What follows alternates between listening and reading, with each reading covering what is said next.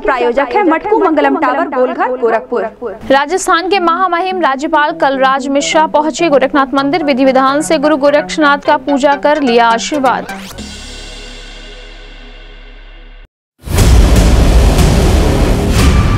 आगामी त्योहारों को सकुशल संपन्न कराने के लिए मुख्यमंत्री योगी आदित्यनाथ ने लखनऊ से वीडियो कॉन्फ्रेंसिंग के माध्यम से प्रदेश के सभी जिलों के अधिकारियों के साथ की बैठक त्योहारों को सकुशल संपन्न कराने के लिए अधिकारियों को जन आस्था का सम्मान करने और अराजक तत्वों से सख्ती से निपटने के दिए निर्देश।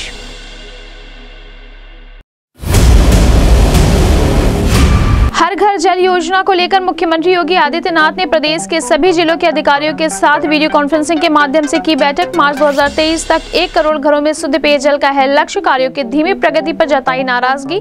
कार्यों को समय अवधि में पूरा करने के लिए अधिकारियों को दिए निर्देश।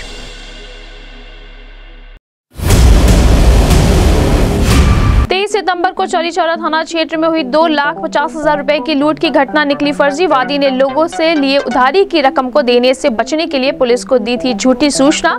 वादी के खिलाफ ही पुलिस ने थाने में मुकदमा किया। पंजीकृत एसएसपी ने किया खुलासा।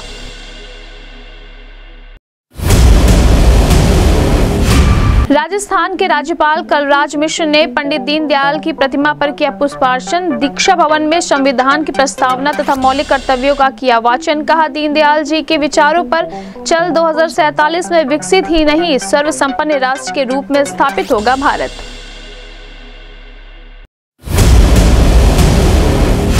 जल निगम का अधिकारी ठेकेदार बनकर धोखाधड़ी करने वाले दो अभियुक्तों, रामकृपाल यादव व संदीप यादव को कैंट थाने की पुलिस ने किया गिरफ़्तार। धोखाधड़ी का पचासी हज़ार रूपए किया बरामद, एसपी सिटी ने किया खुलासा।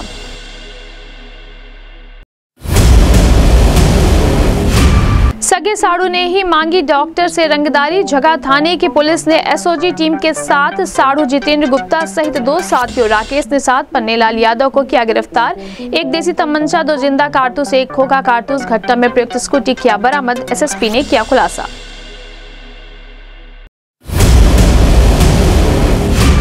26 सितंबर की शाम शक्ति पूजा के लिए तैयार शिवतारी की साधना स्थली शक्ति मंदिर में सीएम योगी आदित्यनाथ करेंगे कलश की स्थापना। शारदीय नवरात्र में गोरखनाथ मंदिर में 4 अक्टूबर तक नवरात्र का पूजन एवं 4 अक्टूबर को ही होगा विजयदशमी महोत्सव।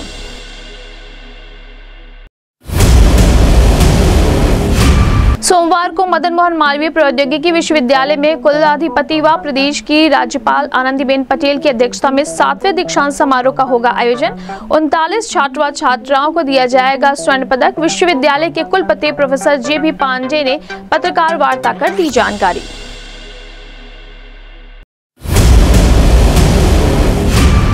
घंटे के अंदर एक शातिर चोर को कैंट थाने की पुलिस ने किया गिरफ़्तार। तीन चोरी का मोबाइल व 55 ग्राम नशीला डायजापाम पाउडर किया बरामद, भेजा जेल।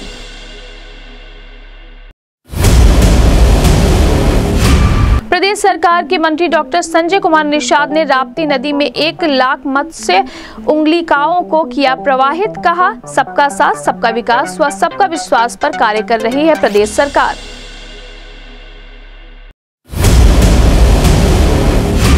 विश्व फार्मेसी दिवस के अवसर पर राष्ट्रीय फार्मेसी संघ व डिप्लोमा फार्मेसी संघ के संयुक्त तत्वावधान में गोष्ठी का किया गया आयोजन कहा, फार्मेसियों पर ध्यान आकर्षित करने के उद्देश्य से मनाया जाता है विश्व फार्मेसी दिवस।